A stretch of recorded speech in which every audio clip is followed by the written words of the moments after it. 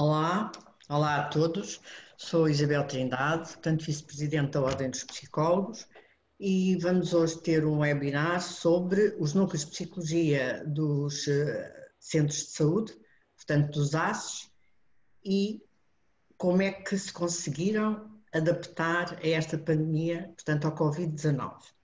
Temos connosco uh, três colegas de três ACES uh, do país, portanto, começando pelo norte, temos a Adelaide Marques, que é do ACES Porto Gaia, uh, depois, descendo no país, temos em Lisboa a Rita Correia, do ACES Cascais, mas a partir de segunda, do ACES Lisboa Norte, mas deu apoio portanto, na organização dos dois ACs, portanto, traz esta experiência, e descendo ao Algarve, a Natasha Gonçalves, portanto, do ACs Algarve 1, Central.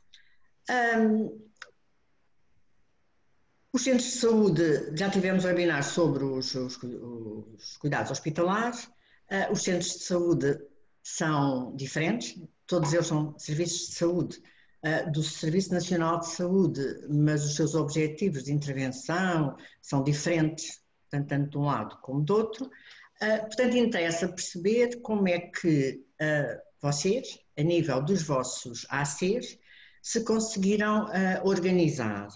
E, portanto, começaria por perguntar o que é que foi feito para dar resposta a este desafio dos núcleos de psicologia, como é que se conseguiram organizar para dar esta resposta. Posso começar uh, pelo norte, Adelaide, passo-lhe a palavra para a primeira então, muito obrigada. Eh, eu gostava de começar por cumprimentar as colegas e agradecer o convite que foi endereçado porque realmente uh, este tipo de partilhas são uma mais-valia e, e, e, para esta mais-valia é, é, realmente um fator positivo na, na, na, nossa aprendizagem e no nosso desenvolvimento, enquanto também área da psicologia. Por isso agradeço imenso. E falar-vos um bocadinho então do núcleo uh, da psicologia do, do ACES Gaia. Vocês dizem ACES, eu aqui, se calhar pela pronúncia do Norte, peço imensa desculpa, vou pronunciar como ACES Gaia. O ACES Gaia uh, tem realmente o um núcleo um, criado desde finais de 2018. Uh, somos cinco elementos e, um, e dividimos, como penso todos os colegas uh, do, dos outros ACES em atividades assistenciais e não assistenciais. Nesta situação uh, que foi nova para todos e que realmente veio abalar uh, aquilo que era o nosso ritmo normal de trabalho, nós, tal como todas as outras pessoas, tivemos que rapidamente nos reajustar e reinventar um pouco a forma como realmente uh, tínhamos as coisas programadas em termos de núcleo. Então, em, em meados de, de, maio, quando foi declarado o estado de calamidade e todas as atividades uh, foram suspensas, tanto as, as, atividades de consultas como as atividades dos projetos, uh, e realmente, uh, como toda a gente sabe, o Norte foi assim inicialmente teve uh, números bastante, bastante elevados de, de casos positivos, uh, nós tivemos que dividir imediatamente o nosso, o nosso núcleo, a nossa orgânica em dois momentos. O primeiro momento, que foi aquele momento inicial, em que demos respostas só, só, só ao trace COVID.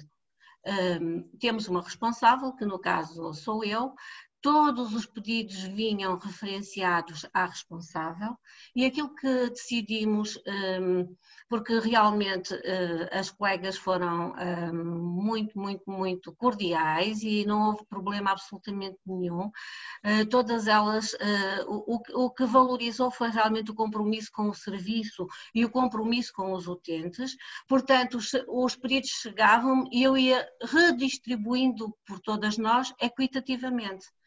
Um, e, e, isso funcionou muito bem. Vinham pedidos ao fim de semana e nós mesmo ao fim de semana, nesse primeiro momento, estávamos disponíveis. Portanto, o, o, os pedidos chegavam, eram redistribuídos e imediatamente as pessoas eram contactadas pelos telefones. Não tivemos, muitas de nós não têm telefone de serviço, duas ou três é que têm telefone de serviço. Os telefones de serviço não tinham plafons para fazermos essa, este tipo de comunicações, mas isso não foi um problema para os elementos do núcleo. Todas nós dispusemos dos nossos aparelhos eh, pessoais e todas nós uh, fizemos os contactos que tinham que ser feitos. Numa fase inicial também ninguém teve BPN, ehm, não tínhamos realmente acesso à agenda remota uh, em casa. Posteriormente tivemos acesso, mas apenas a responsável, portanto, mais uma vez, toda a dinâmica tinha que passar por mim, porque um, os médicos na consulta do Trace Covid e perante a afluência, porque realmente foram, foram muitos casos e muitos pedidos, não, não, tinham disponibilidade para estar a ver qual era a unidade a que aquele utente pertencia e muitas vezes qual era o número de telefone daquele utente e, portanto, também sem termos uh, uh, espaço para podermos aceder às nossas agendas eram muito complicados. Então, também esse trabalho foi centrado na responsável, como era a única que tinha uh, esse acesso, e, portanto, as coisas correram muito bem. E, e, neste primeiro momento, até mais ou menos meados de abril, as respostas foram uh, unicamente dadas ao Trace Covid, porque realmente os pedidos eram muitos. Eram pedidos para uh, pessoas que estavam em isolamento, porque realmente uh, tiveram a confirmação de estarem positivas, e eram pedidos para pessoas que estavam em quarentena, porque tinham tido contactos com pessoas que estavam positivas e isso também realmente uh, criou ali assim uh, problemas na cabeça e nas angústias de, de muitos utentes. A partir de meados de, de abril, num segundo momento, uh, o que é que aconteceu? Começamos a ter também pedidos diretos de médicos de família, não só da linha ou da consulta do Trace Covid porque realmente uh, uh, os médicos de família, também alguns em, em teleconsulta, outros em consulta presencial, uh, não sendo os casos diretamente Covid, mas tinham os familiares que estavam também a viver aquilo e que precisavam também de apoio e nós também começamos a monitorizar todos esses casos. Portanto, a monitorização foi feita sempre, em muitos casos, diariamente, noutros casos, quando as situações não eram tão problemáticas ou em termos de avaliação momentânea não nos pareciam tão problemáticas, num espaço de tempo mais considerável, mas realmente foram sempre feitas essas monitorizações.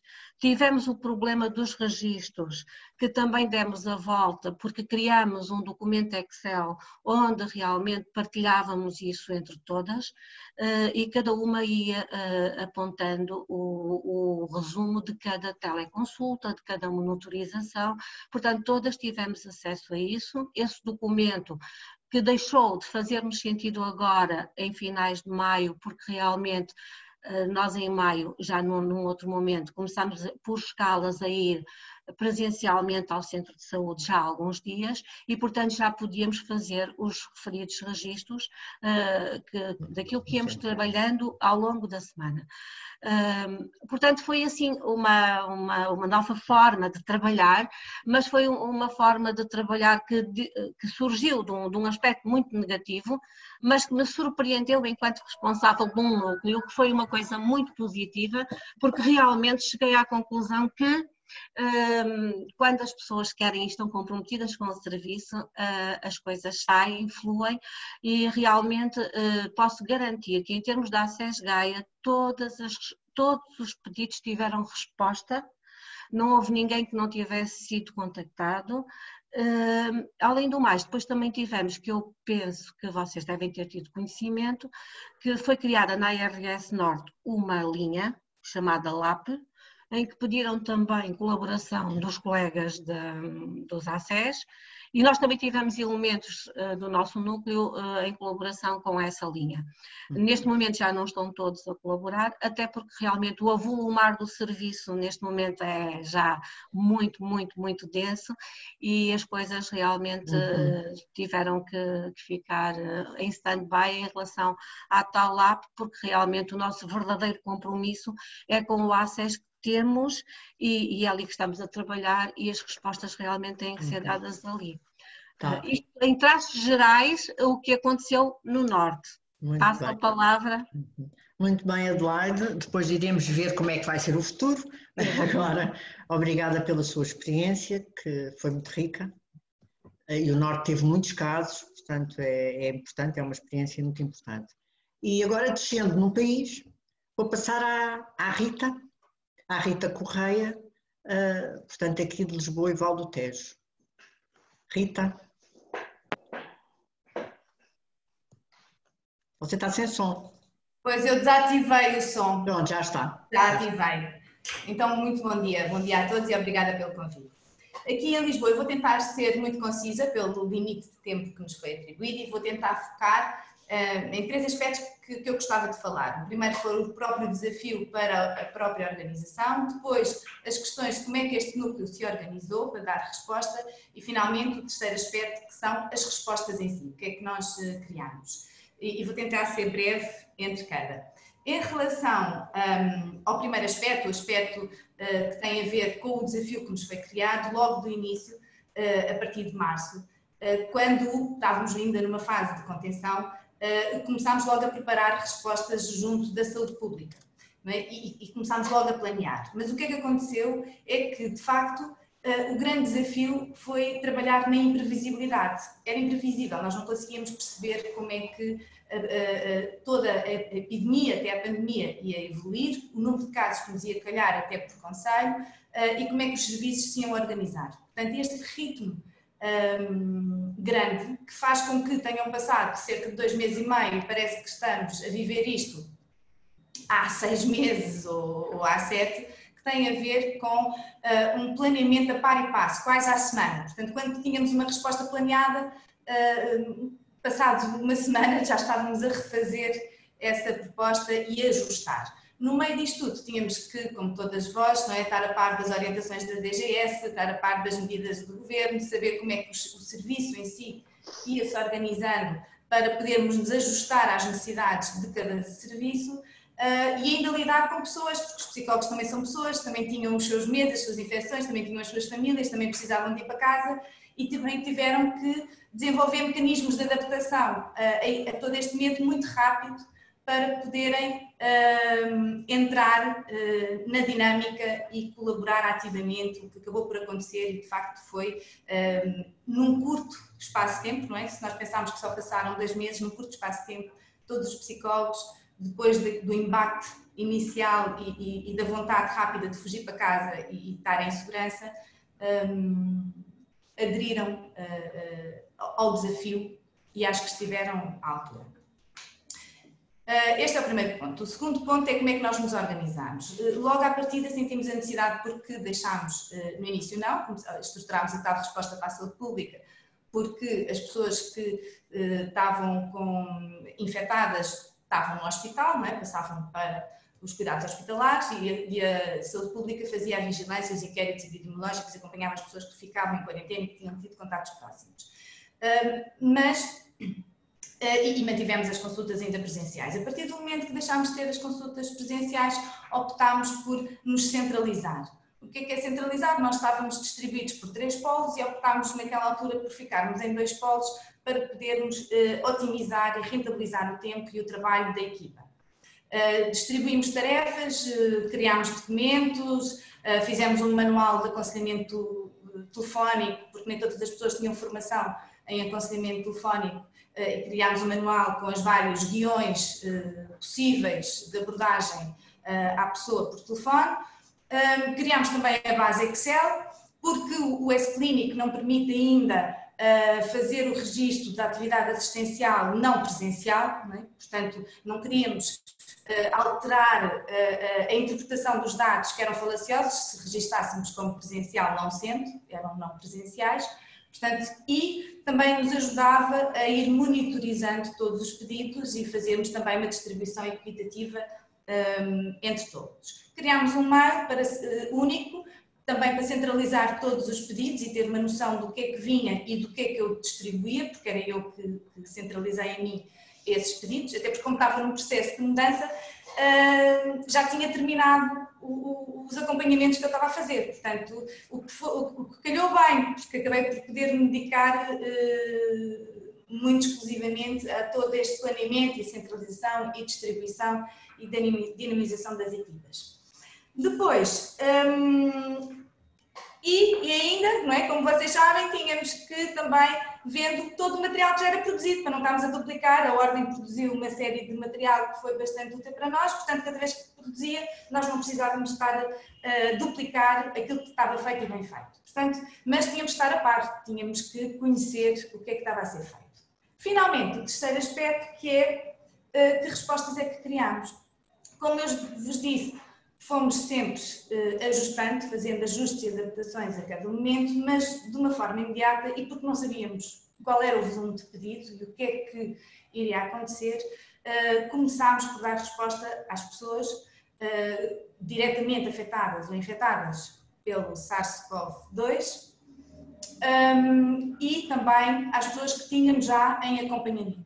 Uh, lá está, que as pessoas que nós já tínhamos em acompanhamento era mais fácil para os psicólogos, conhecendo a fase de evolução e do processo terapêutico em que se encontravam, um, criarem eh, e definirem a periodicidade que achavam que era indicada para manter uh, aquele acompanhamento das pessoas que já tinham. Uh, e a resposta uh, aos doentes mais relacionados com a Covid e com a pandemia não veio no número que nós inicialmente estávamos à espera, embora tenhamos criado também uma linha de aconselhamento telefónico, posteriormente, ou seja, logo de início, os casos poderiam vir pelo médico de família ou pela saúde pública, mas depois, quando foi criado o ADC, que é a área dedicada uh, à Covid, uh, onde as pessoas com suspeitas né, iriam para depois serem encaminhadas para a realização do teste e, e ficava definido se ficavam em quarentena ou não, porque a partir desse momento, na fase de mitigação, a pessoa já não ia para o hospital, portanto passava a, ser vigiada pela equipa de saúde em casa. Também criámos uma linha telefónica específica para os utentes que recorriam ao ADC ou seus familiares. Mas isto para dizer que, como o volume de pedidos não era o que esperávamos, o que fizemos foi que decidimos também abrir a possibilidade não só aos novos pedidos, pronto, essa é outra linha que nós também abrimos a referenciação para novos pedidos não há não Covid, não é? Eh, eh, as consultas não pararam, as consultas eh, nos centros de saúde não pararam, com critérios de atendimento prioritários e nós criámos critérios iguais em relação às consultas que se mantinham nos, nos, centros de saúde sem ser Covid, não é? Porque havia mais vida para além da Covid.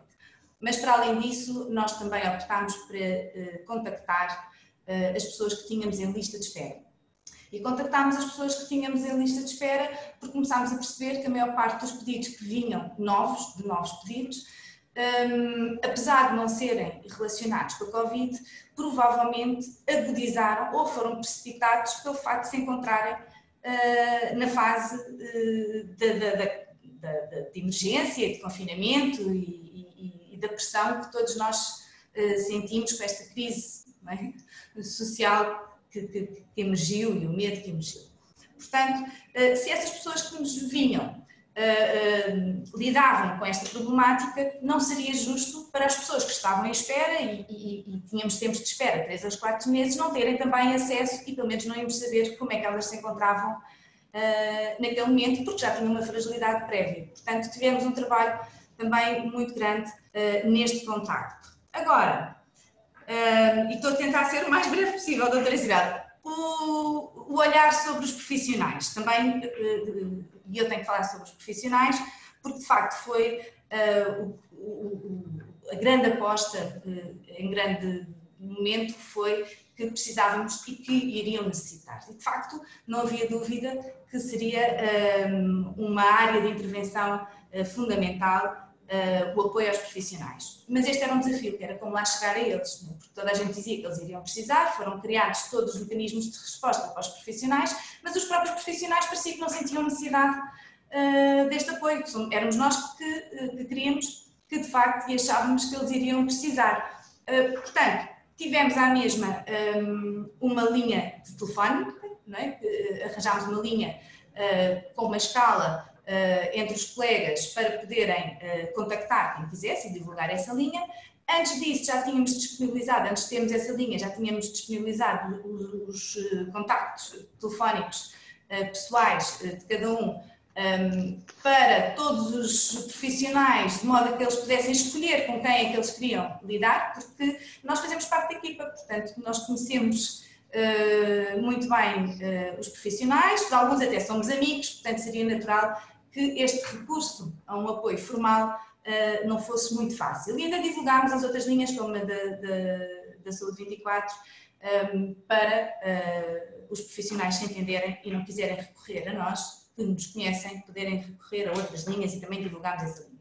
Portanto, nesta dificuldade de um apoio direto e formal aos profissionais, optámos por um, ehm, criar uma resposta de, mais ligada à prevenção do stress ocupacional. Portanto, não querem bem, querem mal. Portanto, havíamos de arranjar uma forma uh, de os apoiar. Então, criámos aquilo que chamámos de um kit, um kit de sobrevivência. Portanto, de facto, houve muitas, muita, muito material de autoajuda e de, de recomendações e de dicas para os profissionais de saúde, em que eles tinham muito pouco tempo para se dedicarem uh, à leitura e, e, e, à interpretação e ao pôr em prática de todo o material que foi surgindo. Uh, então optámos por lhes facilitar a vida. Portanto, fizemos vídeos, vou-lhes explicar, este kit de sobrevivência continha algumas estratégias fáceis de aplicar um, relacionadas com a gestão do stress. Portanto, fizemos vídeos com os fisioterapeutas para exercícios posturais no local de trabalho, onde filmámos os, os profissionais uh, para fazer, fizemos vídeos de relaxamento e de respiração um, mas tudo num curto espaço de tempo. Mostramos algumas técnicas e enviamos alguns exemplos de técnicas para distração ativa. Uh, fizemos uma biblioteca um, organizada deste material todo que vinha para não duplicar, uh, nomeadamente o da ordem por pasta e por categoria, para, para ser fácil acesso colocámos os contactos, os fluxogramas e ajustámos e ainda tínhamos um, um, um blog onde cada um poderia participar com aquilo uh, que entendesse. Um, e depois tentámos manter, nós ficámos em teletrabalho e, e, e, e não, não é? portanto tínhamos uma escala entre teletrabalho e presencial, até porque queríamos estar próximo das equipas e mostrar que fazemos parte da equipa também, e se os médicos, os enfermeiros e os administrativos tinham que ficar no centro de saúde, não éramos nós que íamos todos para casa em Barda, portanto um, ficávamos aqui e tentávamos estar sempre em contactos informais, portanto um, continuámos nas equipas, ah, isto, um parênteses, também mantivemos três programas uh, essenciais, que foi a SCI, os paliativos e o Núcleo de Apoio a Crianças e Jovens em Risco. Portanto, e a colaboração uh, nestes projetos e nas reuniões de equipa, pelo, pelo Teams, né, que entretanto foi aberto e que foi, uh, foi aberto e foi disponibilizado e que facilitou muito esta proximidade. E sempre que possível íamos aos locais e às unidades tentar ver como é que como é que as pessoas estavam, como é que se encontravam, porque era nos contactos informais que eles nos procuravam, não é? Era ali nos contactos informais. Uhum. Pronto, acho que, assim, rapidamente, foi tudo. Muito bem, então passámos por Lisboa e chegámos ao Algarve. Depois passámos pelo Alentejo, chegámos ao Algarve. Natasha, está-me a ouvir? Estou, sim senhora, estou a ouvir então, bem, estão-me a ouvir. O que é que se passa aí embaixo no Algarve? Em primeiro lugar, uh, agradecer imenso o convite também uh, e a importância realmente que, que têm estas, estas partilhas para nós irmos percebendo o que é que cada um vai fazendo e sentirmos mais próximos e também uh, agradecer à Ordem tudo aquilo que tem feito por nós, psicólogos, e enfim, ajudando-nos nestas situações todas que tem sido extremamente importante. Ora, nós aqui temos algumas coisas idênticas e algumas coisas diferentes. Um, a nossa organização uh, e a forma, uh, o, o cerne do nosso trabalho é diferente. Uh, nós centramos-nos, sobretudo, na população infantil e dentro de programas e de equipas multidisciplinares, portanto, temos uma organização um bocadinho diferente. Quando aparece esta este desafio e esta situação toda, nós estávamos a organizar os nossos núcleos. O Algarve tem três ACES, eh, mas em termos dos psicólogos, os ACES têm as suas particularidades, obviamente, e há coisas que, que, que, são divididas, mas nós temos uma união de grupo bastante grande e há muitas coisas que fazemos como região ainda e não como ACES dividido.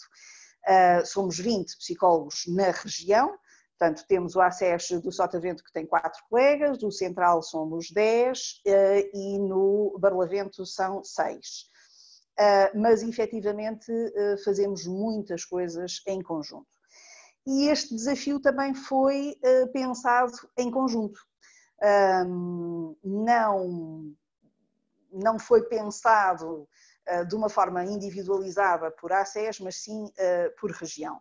Aquilo que aconteceu em cada ACES foi diferente, a organização do próprio ACES, não dos psicólogos, mas do próprio ACES foi diferente. Uh, o Barlavento, por exemplo, as colegas foram muito chamadas também a dar apoio ao Trace Covid e o Sotavento também. No Central ninguém nos chamou inicialmente para nada, aquilo que aparecia eram boatos de coisas muito hum, no ar e coisas muito, enfim, algumas sem nexo, outras sem, sem, organização. É? As pessoas, obviamente, também a situação era difícil e as pessoas não sabiam ainda o que é que ia acontecer. Mesmo em termos do teletrabalho, também foi difícil. Nós ficámos, a maior parte eh, ficou a trabalhar no local. As únicas pessoas que foram para casa foram aquelas que tiveram que dar assistência à família, portanto, não tivemos, na generalidade, a autorização para o teletrabalho. Eh, e, portanto, o início foi gerir aqui um bocadinho estas angústias e estas confusões todas. No entanto, eu tomei um bocadinho a dianteira porque, enfim, como sou coordenadora regional do grande programa diferente que nós temos, que é o GASMI, o Apoio à Saúde Mental Infantil, Uh, e quando, aparece, uh, quando aparecem os núcleos, que tivemos a reunião na ordem, tomei aqui um bocadinho uh, a dianteira porque tinha alguma facilidade de, de, de o fazer e fiz também esse repto aos meus colegas eh, nesta altura, de pensarmos com calma, prevenirmos e anteciparmos, em vez de sermos engolidos, eh, impedidos, eh, que poderiam ter ou não nexo, sermos nós a fazermos uma proposta. E, portanto, no dia 18 entrei em contato precisamente com a doutora Isabel, pensando, tentando perceber um bocadinho o que é que a Ordem estava a fazer, o que é que os outros colegas também estavam a fazer, e daí surgiu a ideia de montarmos nós uh, realmente uma linha de apoio a uma população que não é uh, aquela que nós damos apoio no dia a dia, portanto, não é a população adulta, não é com as situações ehm, da população adulta que nós damos apoio no dia a dia.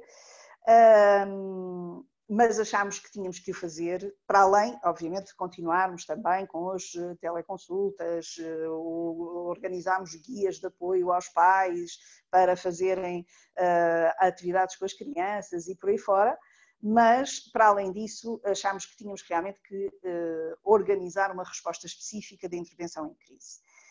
Tínhamos também, e temos, uma enorme mais-valia, que é uma das colegas do Barlavento veio do INEM eh, e, portanto, tem formação específica na área da intervenção em crise e foi, e é, e continua a ser, eh, um recurso muitíssimo importante. E, portanto, eh, no dia 20 estávamos a apresentar uma proposta ao Conselho Diretivo,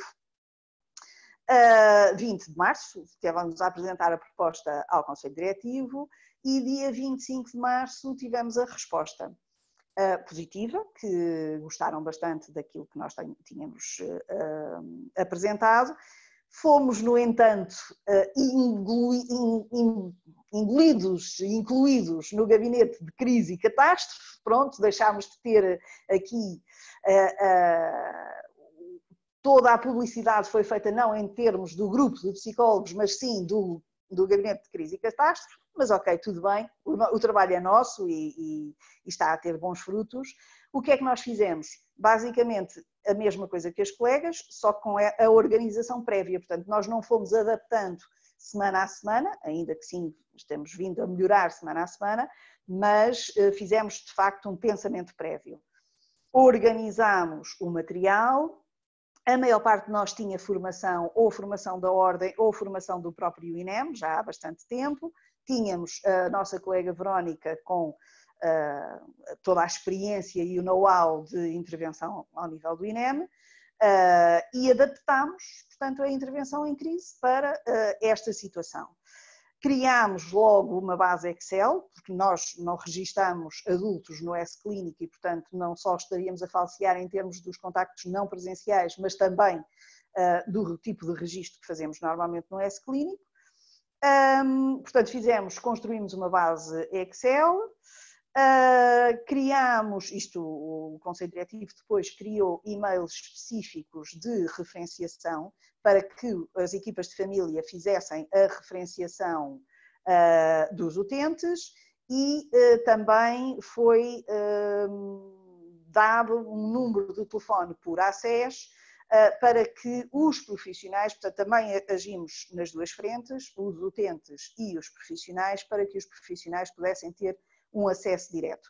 Aqui, aquilo que fizemos uh, na lógica de não ser os nossos profissionais a contactarem com quem conhecem, porque também, obviamente, depois em todo lado nós conhecemos, foi dar a possibilidade de que, por exemplo, eles contactassem ACEs diferentes. Não é? Se calhar um bocadinho tal e qual como os colegas, uh, sentimos que os profissionais não aderiram grandemente. Os números também não foram aqueles que nós estávamos à espera, apesar de tudo, mas também em termos mesmo do Covid e dos infectados na região do Algarve, nós estamos muito bem, não é? Temos 300 e qualquer coisa, não chega aos 400. Portanto, temos números muito baixos e isso refletiu-se também aqui na, na, na linha e na, nas necessidades de apoio. Aquilo que nós não abrimos única e exclusivamente, e precisamente porque também já estávamos a perceber que os números eram poucos, não abrimos exclusivamente às situações de isolamento ou de quarentena ou de infectados, mas também aquilo, aquilo que fossem um, os efeitos colaterais desta situação. Eh, as descompensações de, de psicopatologias prévias, eh, eh, o sentimento de, de, ansiedade exagerado, enfim, as situações do, do, do isolamento, do confinamento, do estar, da violência doméstica também, enfim, todas essas situações que pudessem ocorrer. Neste, na ligação ao gabinete de crise, tivemos uma coisa que eu acho que foi muitíssimo importante, que foi também, isto ficou definido, a estrutura da linha, com a ligação direta à psiquiatria. E, portanto, situações que nós necessitemos de uh, intervenção da psiquiatria, tínhamos uma linha verde uh, para podermos imediatamente entrar em contato com os psiquiatras e as pessoas serem contactadas também via telefone e tem corrido muitíssimo bem. Portanto, aquilo que nos tem aparecido, sobretudo, são situações não Covid efetivamente, e muitas delas descompensações de psicopatologias prévias. E, portanto, esta ligação à, à psiquiatria tem sido muitíssimo importante.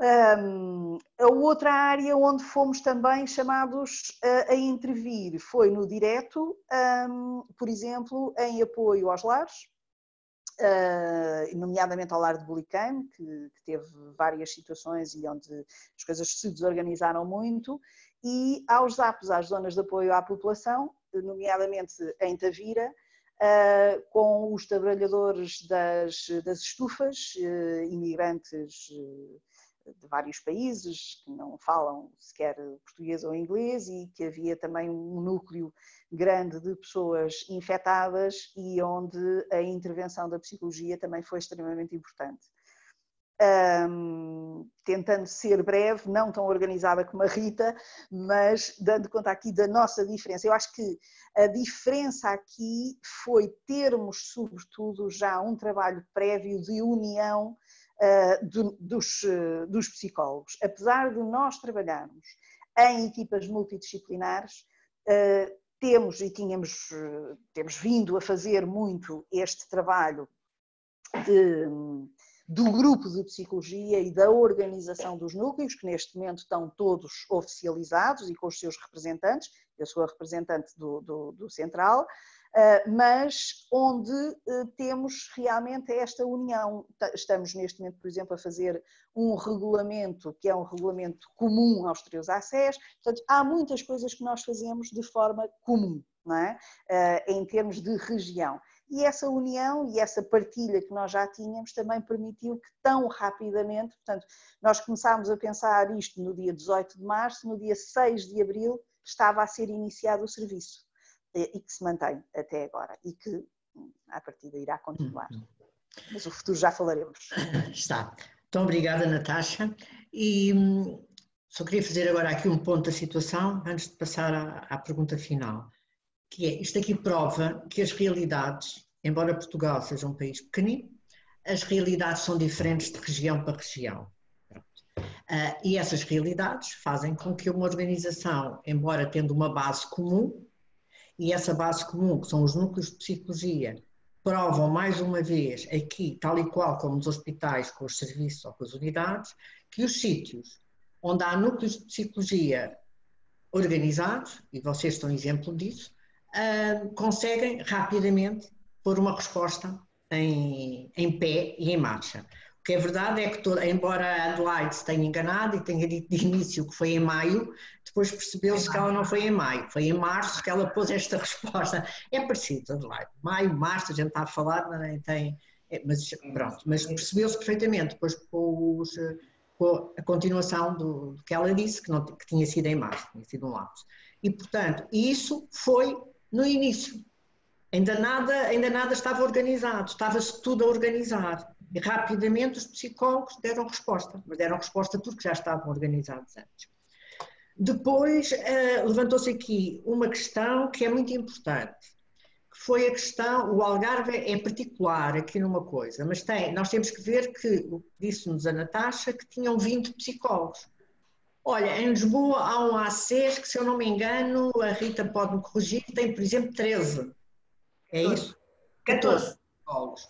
Portanto, o ACES tem quase tantos psicólogos como o Algarve todo. Portanto, era impossível que as pessoas se conseguissem, portanto, são para aí 80 e tal psicólogos ao todo, é mais difícil. Portanto, mas, mas penso, e a Ordem também gostaria que isso acontecesse, que houvesse a nível da ARS uma representação uh, por um psicólogo da, da, da, da centro de saúde, portanto, que pudesse fazer a ponte uh, entre os próprios ACs, entre uns com os outros e também entre os ACs e, o, entre o, e a ARS. Pronto. Porque eu não vinha falar aqui dos gabinetes de crise, pronto, mas de qualquer maneira, como foram chamados aqui assim à, à coação, como dizem os, os advogados, nesta, nesta conversa, um, o que é verdade é que faz sentido, faz sentido que hajam gabinetes que, que, que não é que organizem as respostas, porque o que, se, o que, se, viu aqui é que as respostas estavam todas organizadas. Pronto, quando o gabinete apareceu, quando os gabinetes, uh, portanto, tomaram visibilidade, já havia as respostas nos vários sítios. Eu acho que faz todo o sentido que existam para o intercâmbio entre, por exemplo, a, a saúde, a, a, psicologia e a psiquiatria se poder fazer mais facilmente, porque isso pode ser fácil em alguns sítios mais pequenos, em sítios como Lisboa, com vários hospitais psiquiátricos ou serviços de psiquiatria, ou no Grande Porto, é mais difícil, uns funcionam bem, outros funcionam uh, de outra maneira e, portanto, é, é, mais difícil e, portanto, nesta altura, aquele gabinete podia, podia fazer essa articulação. Pronto. Agora, é bom que se diga, e eu acho que essa, isso, eu enquanto representante dos psicólogos tenho que dizer, uh, o trabalho dos psicólogos foi muito. Fosse a nível da saúde mental, fosse a nível da, dos cuidados primários, fosse a nível dos serviços, de qualquer serviço, desde a oncologia, passando pela cardiologia, seja qual for. Portanto, o trabalho dos psicólogos foi muito e muito grande.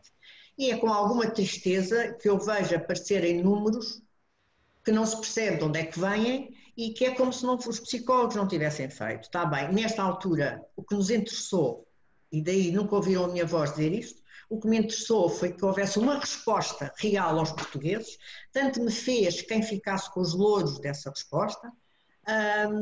Agora, que está, neste momento que estamos numa fase mais calma, mais de planalto, não sei se já começámos a descer ou não, nos sítios sim, mas por exemplo noutros não, uh, se calhar e não é se calhar, é de certeza, eu, enquanto representante da Ordem, quero repor uh, isso. Os psicólogos deram uma grande resposta. E foi com o trabalho dos psicólogos que se conseguiu dar essa resposta. Portanto, eu gostaria de não ver no futuro os psicólogos dos cuidados primários serem representados por psicólogos hospitalares ou pelos psiquiatras. Os psicólogos dos cuidados primários sabem o que estão a fazer, ninguém lhes perguntou se, por exemplo, tinham formação em intervenção em crise, deu-se-lhes formação compartilhando do zero e que eles não sabiam. Aqui, assim, os outros colegas não falaram nisso, mas têm colegas que têm, outros que não têm, mas a maior parte até tem formação em crise. E, por exemplo, a Natasha até referiu isso. Portanto, é que não se aproveita? Quer dizer, eu, eu acho que quando se dá formação às pessoas, pergunta-se-lhe antes de mais nada qual é a formação que têm. Pronto. E essa história que nós levamos, e vamos já calar, senão isto demora muito tempo, mas essa história que nós levamos um bocado por arrasto até da medicina familiar, nós psicólogos não queremos levar. Ou seja, os psicólogos dos cuidados primários são tão válidos, sabem tanto como os psicólogos dos cuidados mais diferenciados. E, portanto, é suposto que lhes perguntem, porque os cuidados diferenciados não são cuidados diferenciados por saberem mais, são cuidados diferenciados porque estão mais centrados numa ou noutra doença. Claro. E os psicólogos dos cuidados primários estão na, na, como os médicos de família. Portanto, é bom que os nossos colegas que são de hospitais façam, não, não criem, não tenham um exemplo da medicina, mas tenham um exemplo da psicologia. Nós somos, das, somos a, a, uma profissão de relação, uma, o Algarve mostrou como essa relação consegue que as coisas se façam até em conjunto em vários ACs e, portanto, somos da relação e, portanto, temos que levar todos em consideração. E pronto, e agora para, desculpem lá este desabafo, mas acho que tinha que dizer. E agora, mais rapidamente, porque senão depois o webinar tem que ser cortado ou então ninguém nos ouve e era bom que os outros colegas também tenham esta partilha.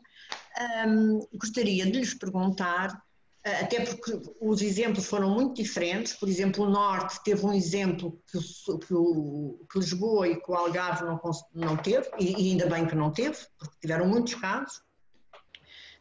E daí também terem que se ir adaptando quase dia a dia. Esperemos que Lisboa não vai entrar em muitos casos, porque nesta altura não sabemos bem, estão a subir, esperemos que não, se vá aprender com a, com a experiência já, já passada. Uh, e, portanto, uh, infelizmente, nós no mal também aprendemos. Se a pandemia é má para todos nós, e principalmente para as pessoas que sofreram com isto, e as famílias que sofreram muito diretamente com as mortes, com a doença, uh, os momentos de crise dão-nos para aprender. Nós sabemos e dizemos isso às pessoas com quem estamos sempre.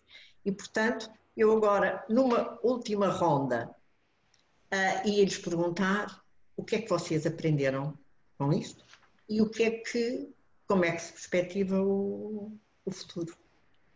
Adelaide?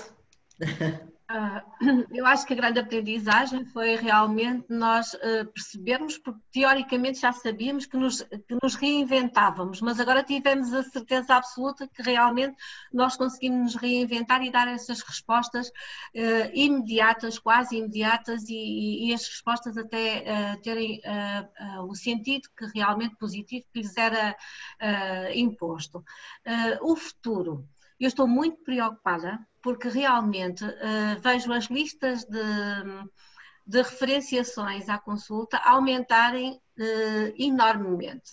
Se já não conseguíamos, como núcleo, dar resposta a todos os pedidos, uh, quando agora abro a, a, lista das referenciações, temos realmente ali um avolumar bastante grande de pedidos e que me parece que ainda vão crescer mais com o, o, que vem agora por aí, porque uhum. agora o, o, que está depois, agora para vir, é uma outra etapa toda que nos vai trazer também uma série de coisas novas, que nós todos dizemos que sim, que, que vai ser isto e que vai ser aquilo, mas provavelmente vão aparecer também situações que nós até na imprevisibilidade não podemos agora falar delas. Portanto, uma das coisas que me preocupa e preocupa o núcleo, toda, toda a gente do núcleo, é exatamente como dar respostas. E aquilo que a doutora Isabel uh, também já referiu é uh, os parcos recursos uh, os recursos humanos, os parcos recursos humanos que temos e que realmente já fizemos muita pressão em termos da direção do ACES em que há necessidade de, no ACES Gaia, e eu penso que isso será uma necessidade geral, de que realmente novos colegas sejam integrados nas equipas, porque eh, é necessário dar respostas.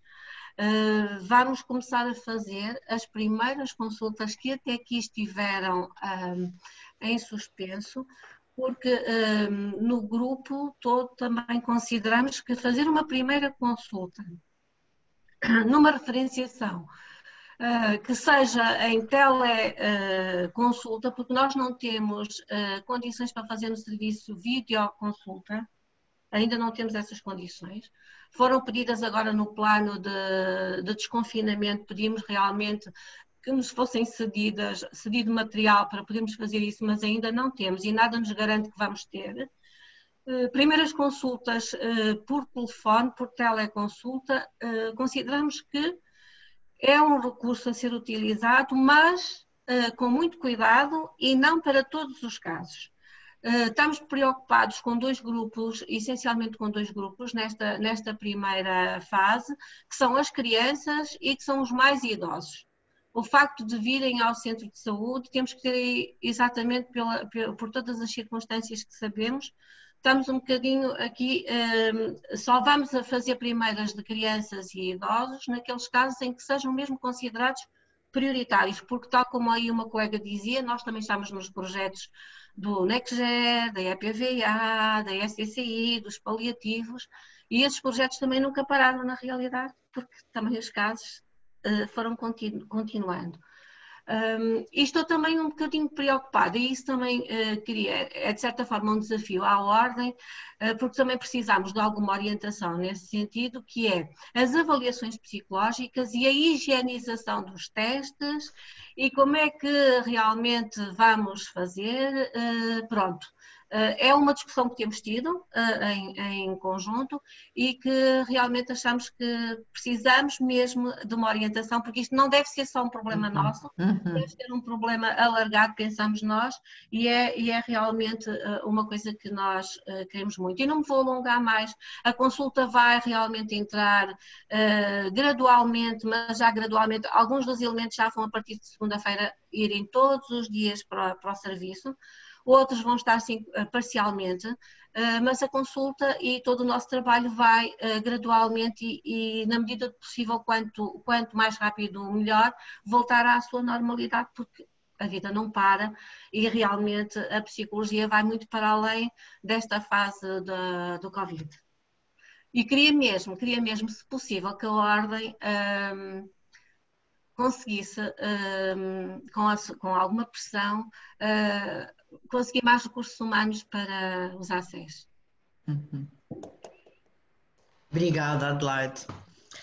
Uh, então, agora passo ao, a Lisboa. Rita, tento ser breve.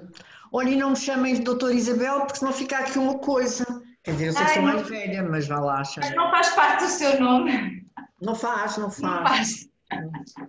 Deus um, um parênteses muito breve antes. Primeiro, agradecer, porque não desisto e acho que tenho que dizer. Um, primeiro, agradecer o que disse em relação uh, aos psicólogos, porque acho que todos, de uma forma geral, ou quase todos, sentimos, uh, sentimos e quem não, quem não sente a vida boa gente, como se costuma uh, dizer, em relação aos núcleos da crise. Uh, e depois também, uh, e já agora explicar que o nosso acesso, somos sete, é? somos sete psicólogos, numa dispersão geográfica muito curta. É? Portanto, há colegas que há acesso que são dois ou três e tem uma distância entre eles de 50 km. Torna toda a mobilização das respostas que não pode ser, e a diferença no tipo de respostas que foi criado. Eu não vou estar a repetir em relação aos desafios e ao futuro. O futuro é hoje, porque a imprevisibilidade então aqui em Lisboa uh, continua. Portanto, o futuro não é assim um futuro muito ao longe, é agora e a cada momento continua. Embora estejamos na fase, claro, da retoma gradual uh, das consultas presenciais, um, ehm, estabelecemos alguns critérios que não passa pela, pelo tipo de problemas, mas pelo tipo de condições, de casa, de, de, de privacidade, de garantia de privacidade, de vontade do próprio, e isso vai, vai ter que ser caso a caso, cada psicólogo que vai avaliar. Claro que estamos preocupados também com a questão do material, não vou estar a repetir o que, a Adelaide disse, porque uh, acho que também é geral, geral, e se calhar devia também haver aqui algumas orientações, porque nem todas as direções ou nem todas as comissões, aqui são os PPCIRAs, uh, têm o mesmo entendimento do que deve ser uh, as medidas de proteção para cada acesso. É? Portanto, há uns que dão umas orientações, há outros que dão outros, e temos colegas em que eles acham que não é preciso coisa nenhuma, e há outros que é quase dos pés à cabeça. Portanto, se calhar alguma uniformização nisto também será desejada.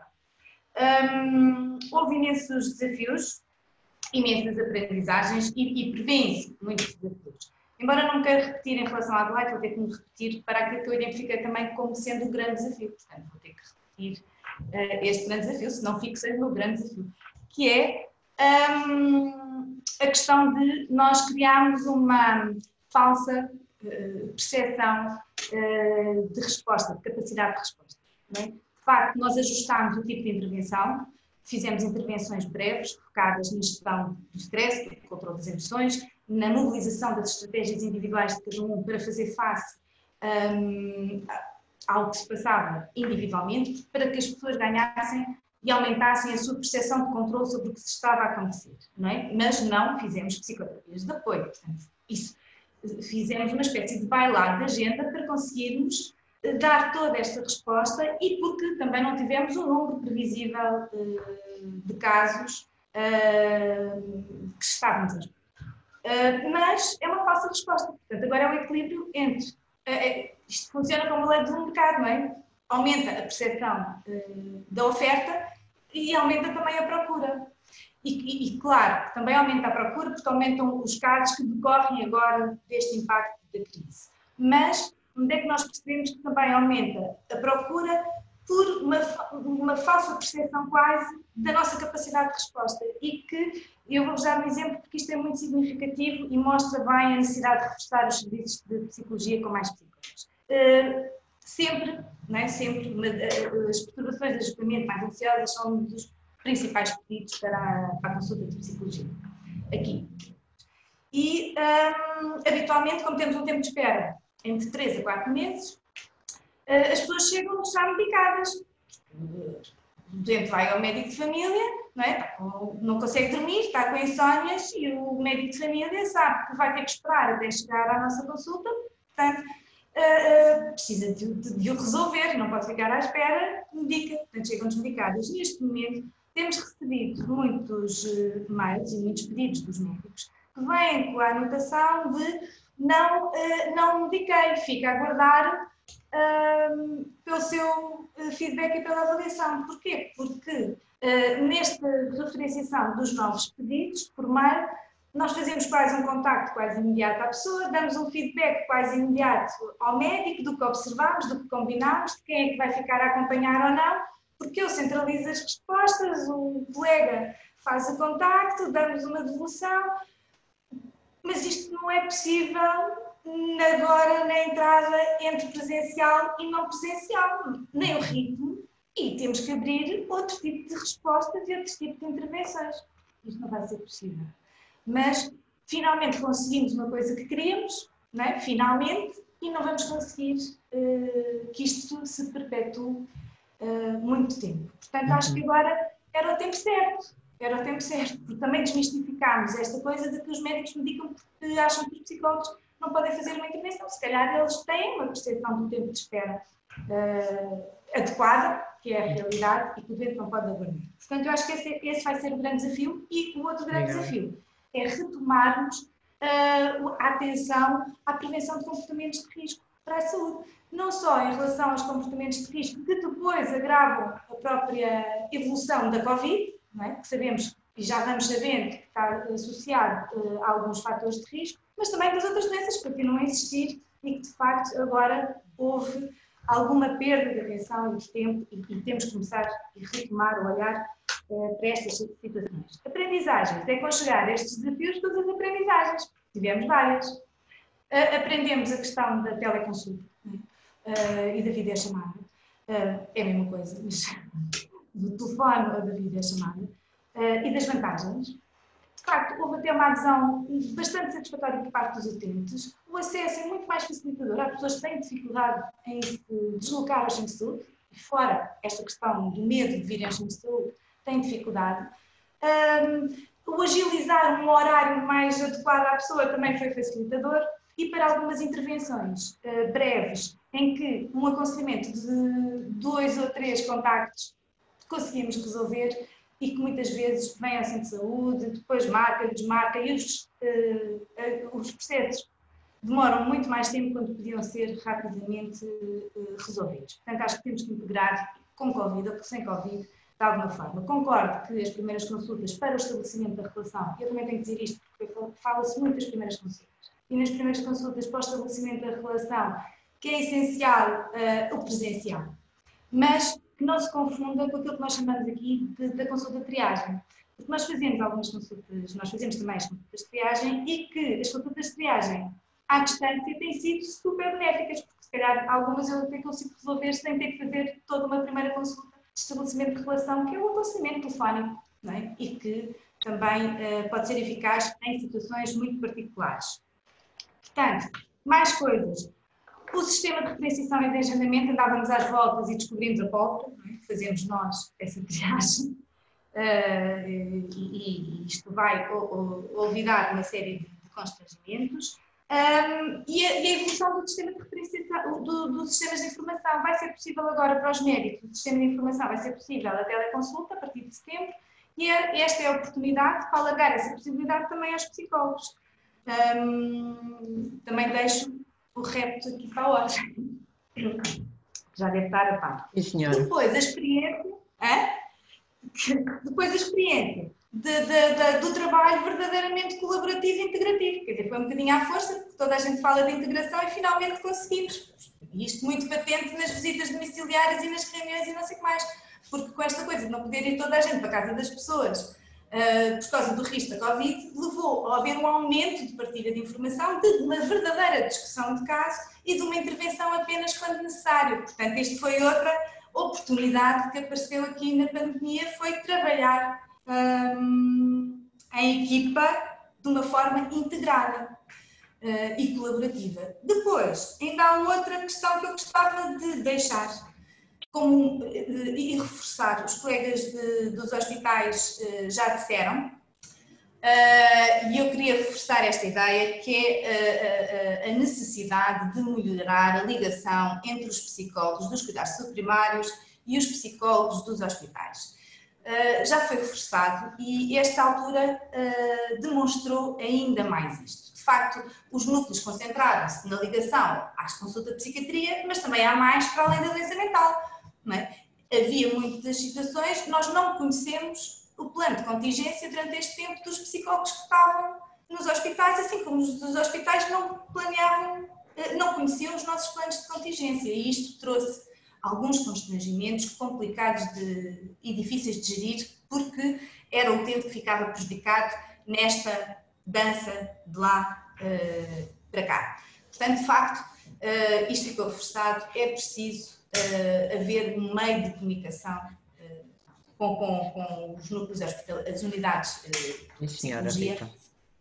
Mas, para terminar, vou dizer só... termine.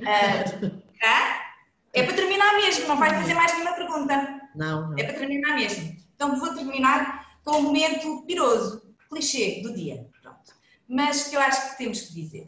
Um, que é aquele clichê terrível de juntos somos mais fortes, mas de facto aquilo também o que provou é que o trabalho colaborativo que se criou entre os vários ACEs, entre os vários eh, psicólogos, porque partilhámos eh, muitas ideias, uns puseram em prática, concordavam, não concordavam, mas a verdade é que partilhámos entre todos as nossas ideias e os nossos projetos e uma necessidade de, de falarmos uns com os outros. Uh, a colaboração interna, é? e realmente os núcleos que trabalham equipa, motivados e dedicados, são essenciais.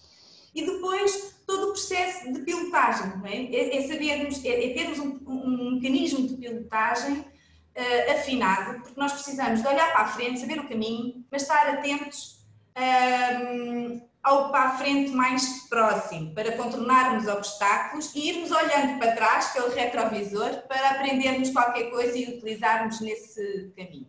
Portanto, eu acho, e assim termino, Se calhar houve algumas coisas que ficaram por dizer, mas penso que disse tudo o que estava. Ah, obrigada. obrigada, Rita. E agora vou ao Algarve.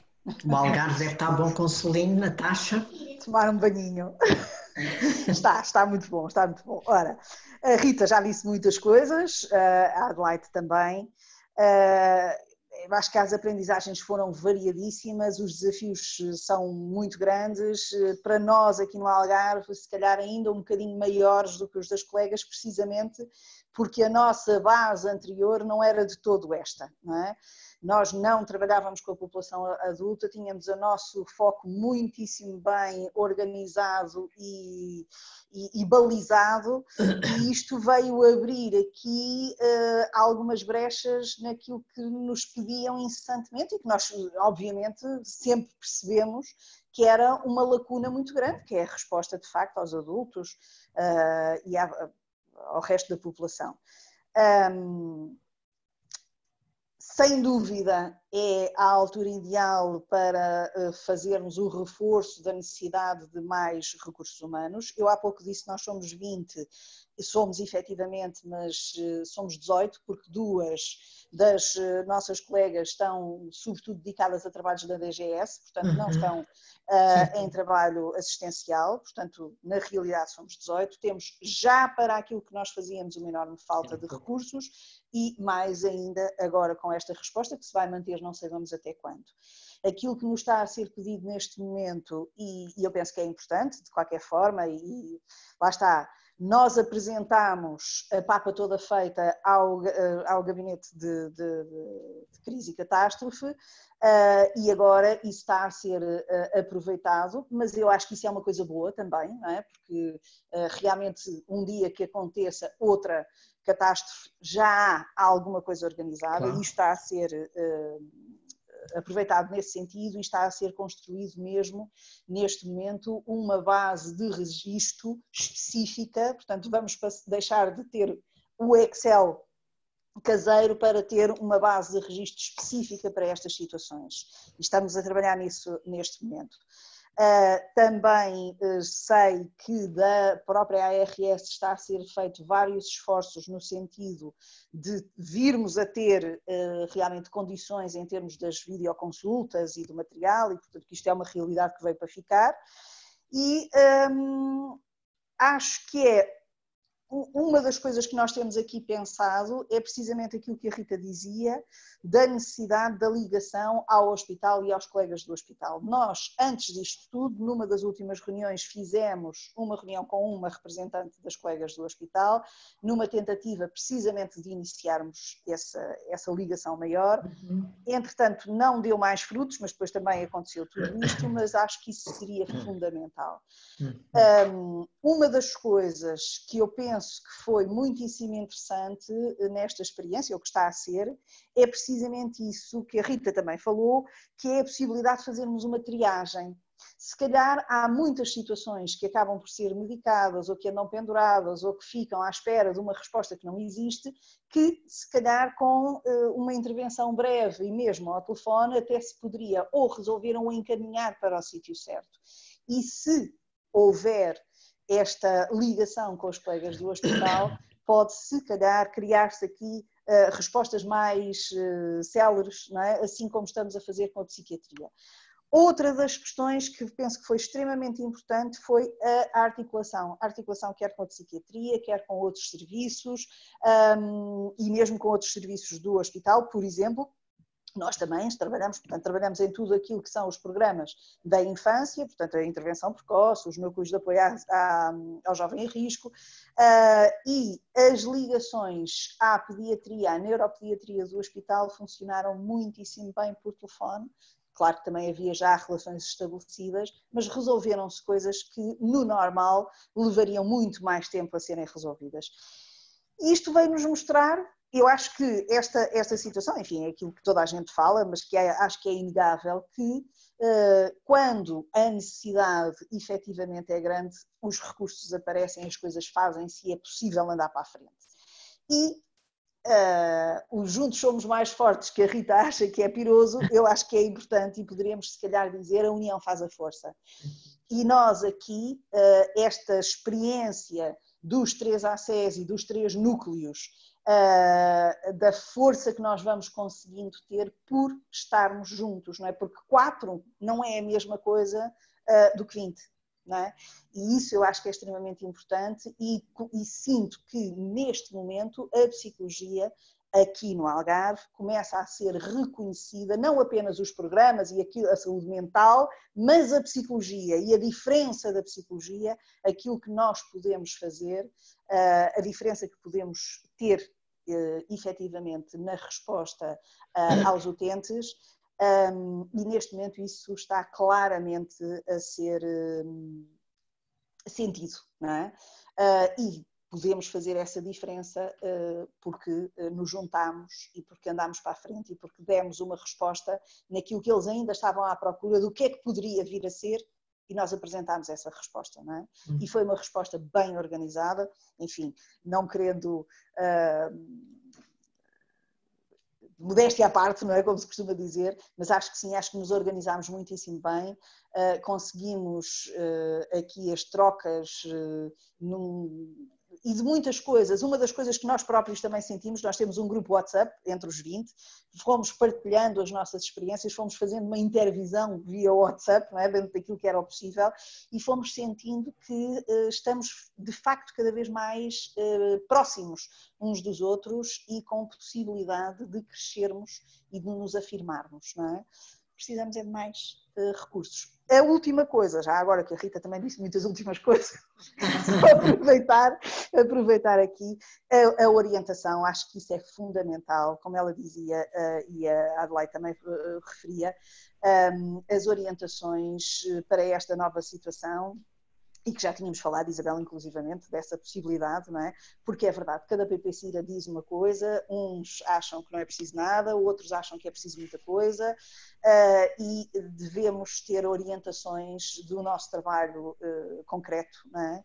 o como é que nós podemos também organizar, e nomeadamente em termos das avaliações, e nós que trabalhamos sobretudo com crianças, não é? Preocupa-nos, uh, ainda não começámos as, na generalidade, ainda não começámos as intervenções presenciais, porque ainda estamos um bocadinho aqui à nora como é que vamos fazer em termos da segurança para os miúdos, porque é completamente diferente da população adulta. A população adulta, apesar de tudo, é mais fácil de gerir estas questões de segurança do que com os miúdos.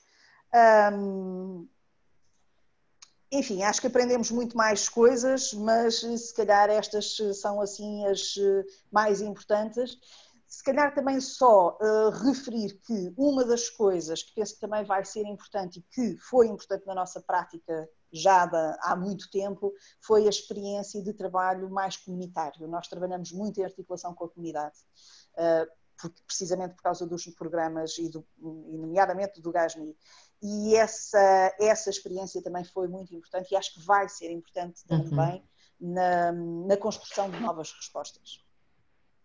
E mais uma vez agradecer à Ordem todo o contributo uh, e sentimos também muito apoiados por vocês, quer por todos os documentos que foram produzindo e que nos foram uh, aqui balizando, um, eh, quer, enfim, por tudo aquilo que têm eh, feito na, no reforço uh, e na, na, organização dos psicólogos, nomeadamente dos cuidados de saúde primários. Muito obrigada. Uh, só para terminarmos, portanto, dois pontos. Quanto aos recursos humanos em psicologia, como vocês sabem, não é? A Ordem está sempre uh, a fazer força no sentido de aumentarem os recursos humanos, porque temos consciência que faltam psicólogos. Ah, como até disse aí, assim, como disse a Rita, por exemplo, criou-se nesta altura uma falsa expectativa. Ou seja, conseguiu-se dar resposta de imediato porque os casos estavam centrados naquilo e o tipo de acompanhamento era só aquele. Pronto. E, e portanto, conseguiu-se dar resposta imediata, o que vai fazer com que, por exemplo, ela chamou essa atenção e, e eu acho que tenho também aqui que referir, que muitas das pessoas que chegavam medicadas de ansiedade ou, ou, ou, depressão acabaram por não chegar neste momento porque a resposta era imediata e, portanto, se fosse para medicar, depois o médico e o psicólogo de discutirem o caso logo, logo isso se faria, mas podiam, é que todas as pessoas que não necessitavam de ser medicadas podiam ter uma intervenção sem ser medicadas. Ora, isto não vai acontecer daqui para a frente, porque quando retomarmos nossa, as atividades normais, lá vamos para as listas de espera, e, portanto lá vai tudo outra vez para aí abaixo. Um, depois também, como foi dito no, por todas, quer dizer, o, as ligações à comunidade, as ligações a todos os outros colegas, uh, o termos uma boa ligação, os cuidados primários e os hospitais em ligação à psicologia, portanto, as pessoas articularem-se, integrarem as intervenções e saberem onde é que o que é que é para um lado, o que é que é para o outro, o que é que fazem, e depois eu diria, não nesta fase, porque primeiro acho que a saúde tem que se organizar e perceber-se, mas logo na fase a seguir, essa articulação com as escolas e com os psicólogos das escolas, para não estarmos a replicar intervenções, a replicar avaliações e tudo isso. Portanto, isso acho que é um desafio que nós temos já agora para o futuro. E, e agora, o, o que estava a dizer, o que disseram todas, portanto, do norte até, até à Natasha, no, mais ao sul, uh, o que fazer para proteger os profissionais, e a nós interessa-nos que os profissionais estejam protegidos, porque se não estiverem protegidos, uh, adoecem, se adoecerem são um risco para os próprios utentes, um risco para as suas famílias, e os recursos já são poucos, ainda menos passam a ser. E para os utentes, pronto. Uh, portanto, como é que o próprio psicólogo tem que se proteger, qual é o tipo de equipamento que deve ou não utilizar. Por exemplo, a nível dos cuidados primários, a maior parte dos colegas não utilizavam, não tínhamos bata, não havia batas. Ah, hoje em dia, eu acho que é de usar bata, pronto. E como é que os testes são protegidos? Qual é que são plastificados, não são, não. A nível dos hospitais, há o mesmo problema mas este problema está menos agravado, porque as comissões de infecção, embora não funcionem todas da mesma maneira e não, e não portanto, não haja uma diretiva que é comum a todos os sítios, funcionam, uh, posso dizer, de uma maneira mais igual. Pronto. Uh, a nível dos centros de saúde, não, até porque acho que a nível do, dos cuidados primários parece que os vírus estão lá todos muito longe e agora percebemos que não estão lá muito longe estão lá muito perto, principalmente em doenças em que não se percebe se as pessoas estão infectadas ou não. E, portanto, isto é muito necessário. Posso dizer que nós, desde o primeiro momento que queríamos lançar um, um documento sobre isto, mas estávamos um pouco, temos estado um pouco à espera que a Direção-Geral de Saúde, que é quem faz normas, fizesse uma norma para abranger os, os psicólogos. Ainda não conseguimos portanto, resposta da Direção-Geral de Saúde, portanto, iremos continuar a pressionar, mas independentemente, se não conseguimos resposta, olha, avançamos com alguma coisa, uh, mesmo que seja mais básica, mas que tenha pelo menos os, uh, as coisas principais, embora nós, como vocês, não somos especialistas em infecção e, portanto, precisávamos. Claro. Pronto, e agora, antes de fechar mesmo e a seguir irei desligar, uh, quero agradecer Quero-lhes agradecer muito, portanto, às três, um, o terem estado aqui, terem dado a cara, terem estado aqui a partilhar as vossas experiências. Um, agradecer o trabalho que fizeram ao longo deste tempo uh, pronto, nos vossos locais e, e, e, através de vocês agradecer a todos os psicólogos que trabalham nos vossos ACs um, e, e ainda mais agradecer aos psicólogos dos cuidados primários em geral, porque se vocês foram as pessoas que vieram aqui, portanto, partilhar a experiência, de certeza, eu, até porque eu falei com muitos psicólogos e com muitos centros de saúde, que há muito mais psicólogos que também poderiam estar aqui a partilhar a sua, a sua experiência. E, portanto, há muito trabalho desenvolvido, bem desenvolvido, e eu só posso estar muito satisfeita, enquanto psicóloga, uh, pela resposta que todos nos dá, nos vários contextos, mas agora estamos a falar dos cuidados primários, mas nos vários contextos, e aqui também, uh, deram. Portanto, as pessoas disseram estou presente e, e, e, deram uma resposta muito importante. E, portanto, para terminar, é esse, deixo o meu agradecimento a todos os psicólogos e, neste momento, porque o webinar é sobre cuidados primários, aos psicólogos dos cuidados primários. E muito obrigada por terem estado. Obrigada a nós. Obrigada. Obrigada. obrigada. E adeus. adeus.